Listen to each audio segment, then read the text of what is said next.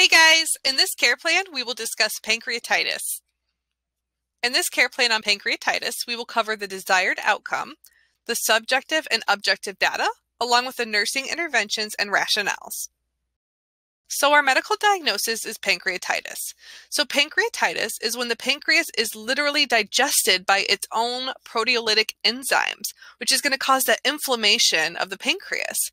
The enzymes may be prematurely activated by the obstruction of gallstones in the bile duct. So acute pancreatitis is usually caused by gallstones, um, alcohol intake, hypercalcemia, medications, cancer, hypertriglyceridemia, or an autoimmune disease. Chronic pancreatitis may occur after recurrences of acute pancreatitis. So they continue to um, maybe continue to drink alcohol over and over. They're going to keep getting pancreatitis until it becomes chronic. So, our desired outcome is the absence of obstruction, inflammation, or infection of the pancreas and bile duct. The patient will be free from pain and vomiting. Let's take a look at our pancreatitis care plan. So, the subjective data of our patient may include abdominal pain. It may be mid-epigastric and it could radiate to the back. I sometimes have patients that have so much abdominal pain, and then I've even had some that they have pancreatitis and they don't experience any. So it just kind of depends. You just never know. So the patient might be experiencing anorexia from not wanting to eat because it causes more pain when the pancreas makes those enzymes.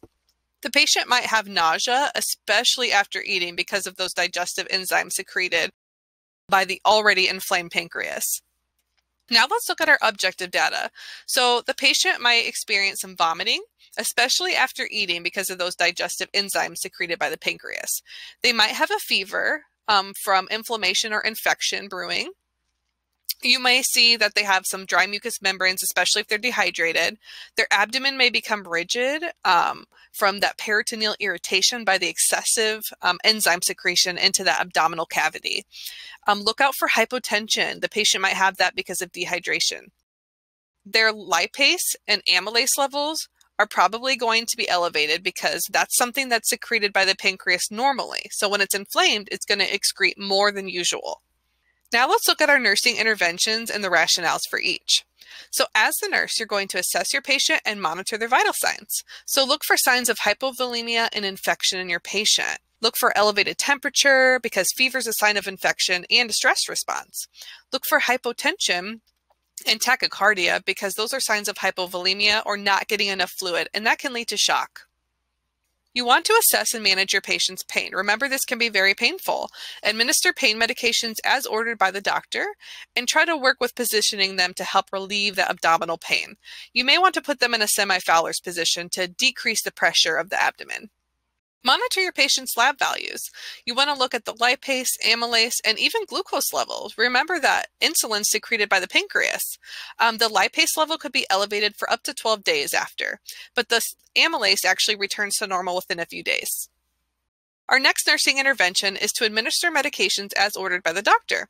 So to you might want to give medications that will help to address that stomach acid, address the hyperglycemia if they have it, and then of course pain medicine. Our next nursing intervention for pancreatitis is nutritional monitoring and education. You know, a lot of times patients they want to keep eating, but you have to explain to them, listen, you have to rest your pancreas. Allow it to rest. Just don't eat or drink anything. We'll advance the diet as tolerated and ordered by the doctor when you're not experiencing pain anymore. Parenteral nutrition might have to be given in, in, really severe cases to inhibit the stimulation of pancreatic enzymes and decrease the metabolic stress. So our next nursing intervention is to assess the fluid and electrolyte balance. This is important because they might not be eating and drinking as much, right?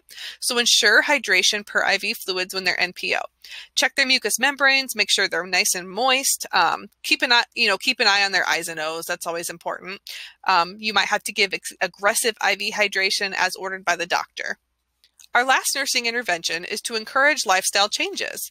You want to try to help them avoid the recurrence of this pancreatitis. So the doctor will, you know, talk to them about what they think caused this. Maybe it was excessive alcohol intake. Maybe it was a certain drug that they were taking, like a statin or something. So just encourage them to stop whatever was causing that.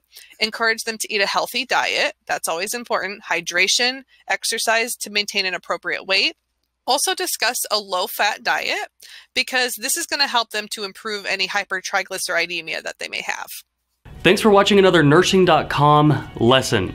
Click the link below in the description to watch thousands more lessons over on nursing.com.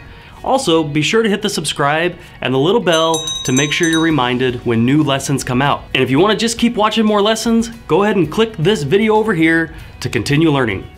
Like we always say here at nursing.com, happy nursing.